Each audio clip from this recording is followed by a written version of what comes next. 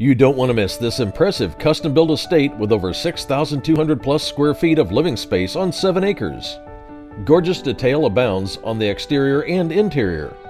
Features include new granite, marble finishes, tray ceilings, inlaid hardwoods, arched doorways, built in bookcases, a hidden room, custom oak trim, tall baseboards, crown molding, five fireplace openings, French doors, new black and stainless steel appliances, new interior and exterior paint, expansive windows, and so much more.